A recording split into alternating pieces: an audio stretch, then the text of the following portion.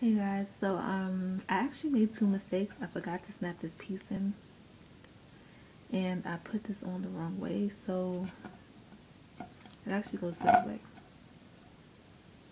So if you guys put it on this way, just make it like this. Just put it on like this. I'm sorry. I apologize. Okay, bye.